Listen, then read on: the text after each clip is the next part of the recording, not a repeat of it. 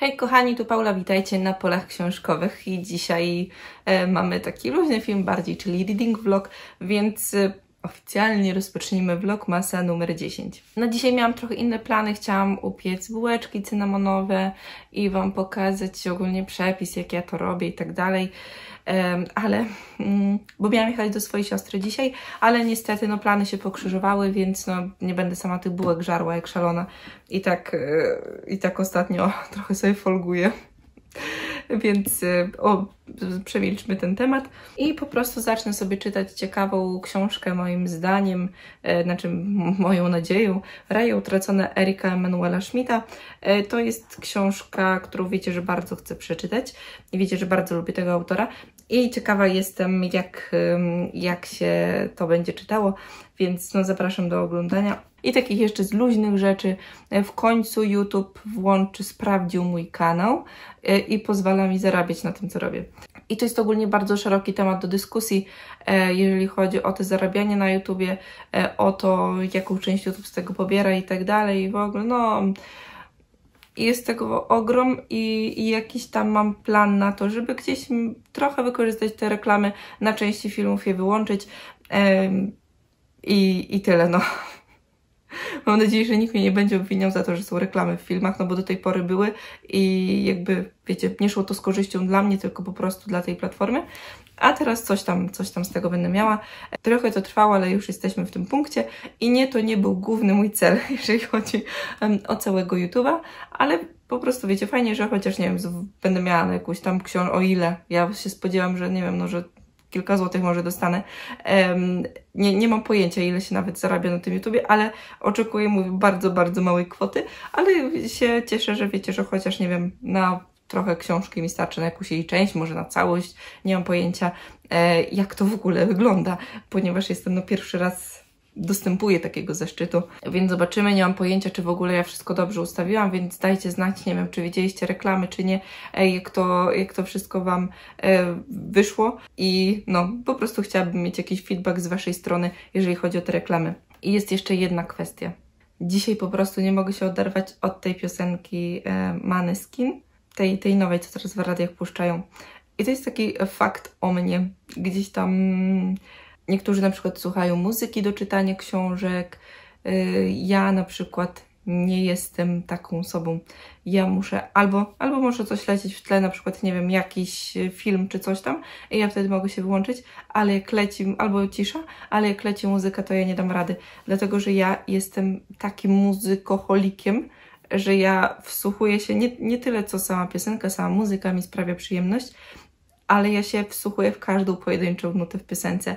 Ja wyszukuję na przykład, nie wiem, instrumentów albo coś tam, e, zwracam uwagę na jakieś riffy, przejścia, e, na jakieś, wiecie, różne połączenia dźwięków. No fascynuje mnie to niezmiernie.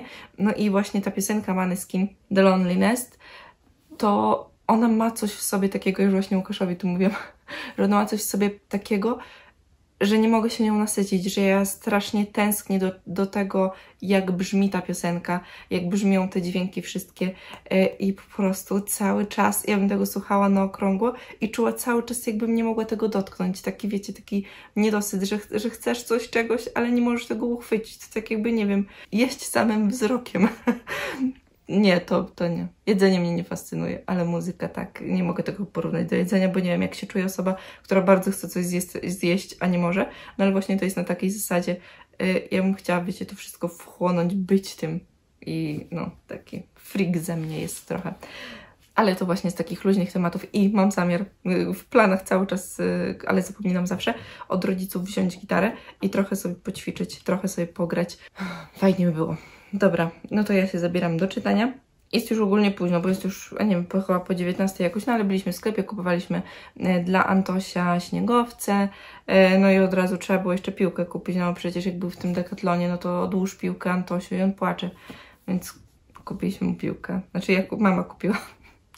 E, no i, i, i tak jak się skończyło, ale fajna jest ta piłeczka. E, I, I cóż, i to wszystko zabieram się do czytania e, i zapraszam Was do oglądania dalej i miłego ogólnie oglądania.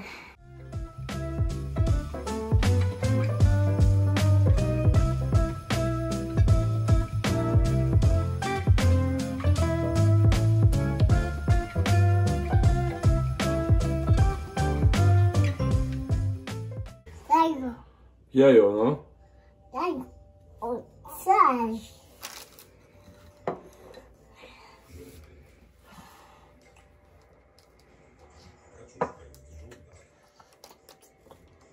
Tak, dobre. Jeszcze gorące chyba, co? No ale już mamo nie mogę się powstrzymać chyba, co?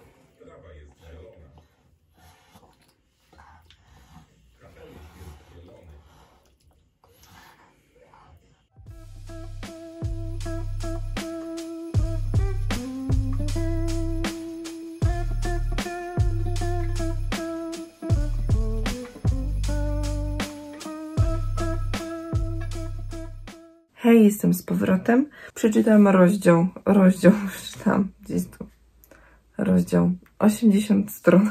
Czy też macie takie, że lubicie, jak te rozdziały są jednak krótsze? I jest ich więcej, są krótsze, nie wiem, jakoś dla mnie właśnie, jak jest już bezrozdziałowa książka, to w ogóle masakra. Dobra, taka dygresja. Co do treści samej książki, mamy tutaj Noama, który, którego najpierw poznajemy w czasach teraźniejszych i dowiadujemy się właśnie, że on ma jakieś kilka tysięcy lat e, i potem dowiadujemy się o nim od samego początku, e, od tego, jakie miał dzieciństwo i w ogóle mm, sama książka w sobie jest napisana super, bardzo dobrze to się czyta. Te duże strony wcale nie przeszkadzają, one tak naprawdę mm, czytają się jak małe, więc tutaj nie ma, nie miałam z tym żadnego problemu. Zresztą, no bo mm, ten tekst jest odpowiednio rozłożony i on jest odpowiednio jakby, ma większą czcionkę e, i większe te ma przerwy między, między sobą. No jeżeli nam po prostu chce nam opowiedzieć swoją historię, e, jak poznał kobietę swojego życia, jak, e, no, jak to wszystko wyglądało, dlaczego tak, a nie inaczej. I tutaj nam zwraca się do nas bezpośrednio, e, przez całą książkę, nawet jak są takie mm, wytłumaczenia, wiecie, jak jest gwiazdka i jest na dole wytłumaczenie o co chodzi, to też tak jakby on się do nas zwraca, bo on nam tą całą historię opowiada. E, To, co pier jako pierwsze zwróciło moją uwagę przy czytaniu tej książki, to miałam takie, że ten autor pisze to, co ja myślę. To jest, to jest dosłownie moment porozumienie dusz z Erikiem Emanuelem Schmidtem. E, I on ma podobne rozkminy co ja, na, na, podobnym, e, na podobnym poziomie. I ja czytając to, wiecie, takie rozkminy dotyczące istnienia i w ogóle ja też czasem mam takie, tak, wiecie, takie filozoficzne, tak mi się galopuje wszystko tam w głowie. E, No i właśnie do tego się, mhm, dobrze, rozumiemy się, jesteśmy tutaj na tej samej linii. Em, No i idziemy dalej. Więc właśnie na początku mamy taki wstęp, że on sobie tam, nie wiem, rozkminia wszystko, no a potem mówi, dobra, to was wam opowiem wszystko, nie? No i mamy e, to, tę część, o której mówiłam. To jak, jak e, Erik Emanuel Schmidt tak tam podkreśla niektóre zdarzenia e, i podkreśla niektóre zdania, tak żebyśmy my na pewno na to nie zwró- zwrócili uwagę, żebyśmy my na pewno tego nie przeoczyli. To jest coś, to jest coś mega dobrego. Tak mi się spodobały, podobały te zabiegi stylistyczne, e, że no, kręci, kręci mnie. Jak widzieliście, od razu też pobiegłam po te, no, poznaczniki.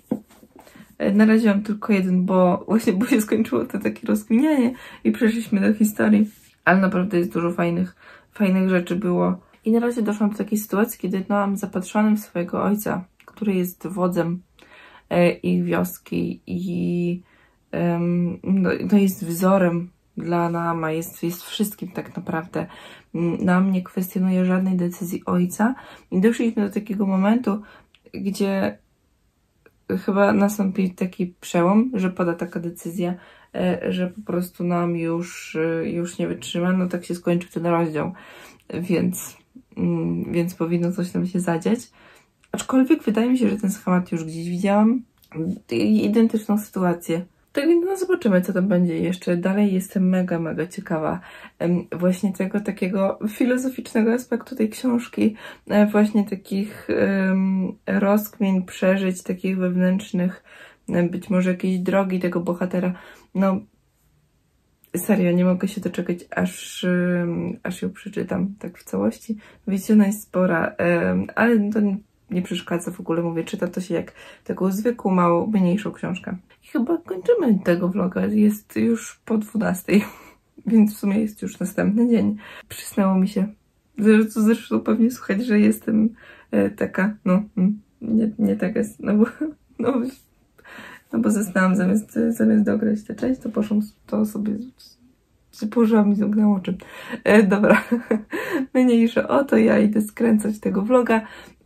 A my, my widzimy się jutro. Mam nadzieję, że Was zaciekawiłam tą lekturą. Dajcie oczywiście e, znać, jak się na to zapatrujecie. Dziękuję Wam za ogrom, ogrom komentarzy. To jest niesamowite i naprawdę czuję się, jakbyśmy tak, wiecie, mieli taki cały czas dialog między sobą, e, taki codzienny, więc no fajnie.